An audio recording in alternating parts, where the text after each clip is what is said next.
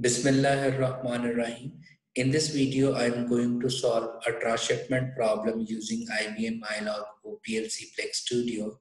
So the problem I am considering in which we have two plants that that is called as source nodes and we have transshipment nodes that is two centers and then we have demand zones which is region 1, region 2 and region 3 so how we can model it? So let's first understand the math model and then we will implement that math model in Cplex. Um, so first of all, we have the total cost that is basically the transportation cost from plants to center that is basically from I to K. So this is basically we can call as plants with respect to I index and then transshipment node with respect to K index and then demand zone with respect to J index. So from plant to a transshipment node, or you can say from source to transshipment node, the total cost we are calculating plus then from a transshipment node, or you can say from center to demand zone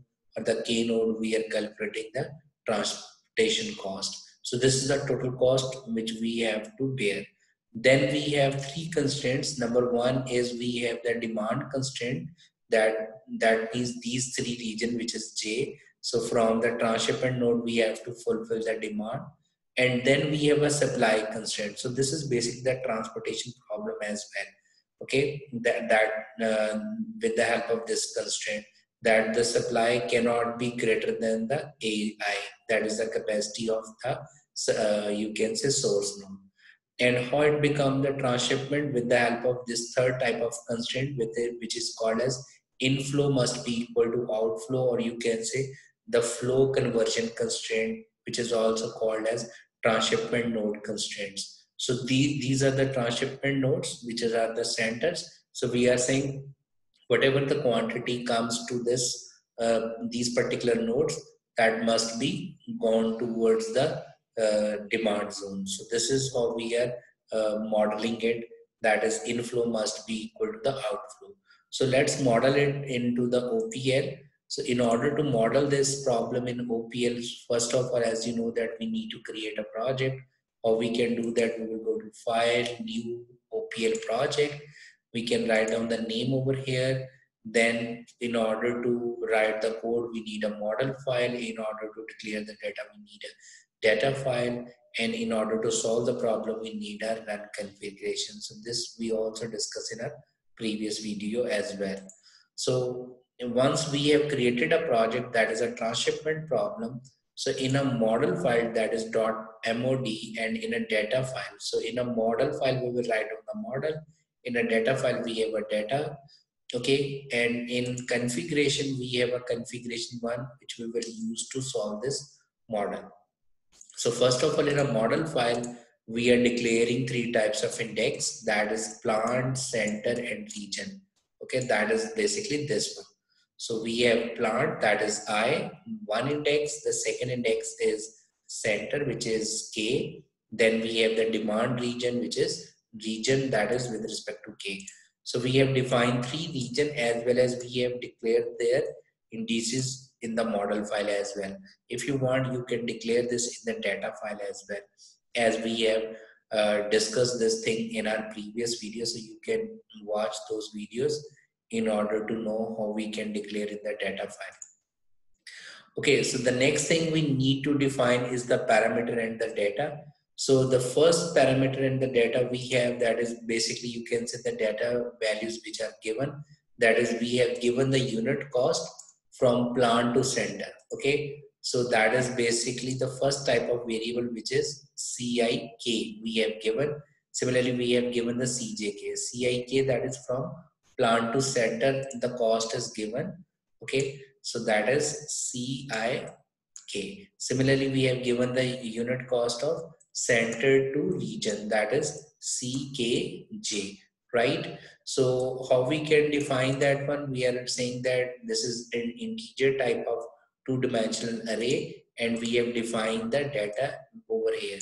That is basically from plant 1 to uh, center 1 and then from plant uh, 2 to center 2 right so these are basically we are indicating the uh, two-dimensional array. Similarly, we have center to region. We are indicating the cost, right? Okay, then we have the supply as well as demand. So that means we have two types of plants. So that's where we are indicating the supply of those plants.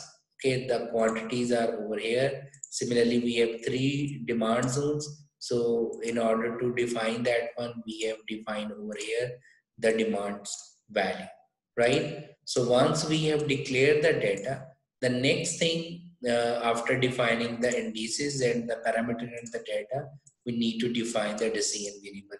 As you know that in OPL, in order to define the decision variable, we can use the keyword dvar that is defined variable. Float plus is basically indicating that the quantity can be fractional, but it should be positive. So right now we are solving a linear programming problem. So basically, so that is float plus then the first quantity which is xik that is from plant to center which is basically we are talking about this one xik and then we have the from center to region which is from k to j. That is another decision variable.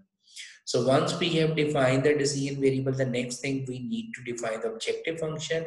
So in order to define the objective function in opl we will use the keyword dexpr. Okay then float transport cost is equal to this is the first which is from plant to center.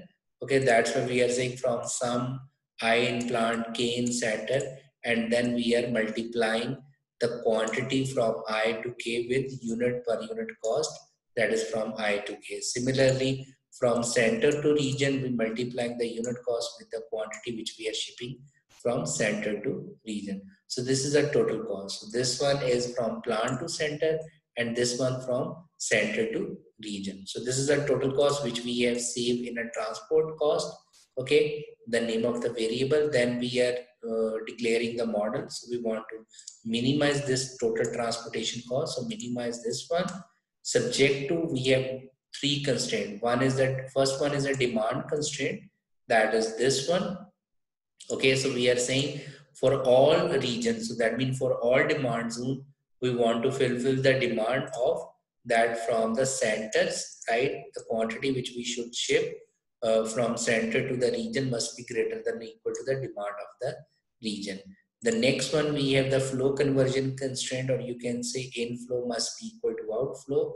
So we are saying that for all center, the sum of the quantity which we uh, which uh, it is coming towards that center must be equal to the going quantity from the center. The last one, we have the supply constraint that we are saying that for all plants, for all IN plants, the quantity, the supply must be, quantity of the supply must be less than or equal to the capacity of that basically plant, or you can say from the supply of that particular plant.